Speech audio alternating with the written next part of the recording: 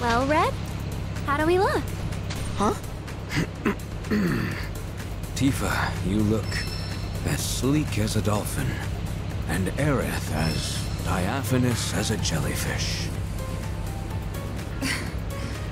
That your way of complimenting us? Human beauty is hard for me to assess.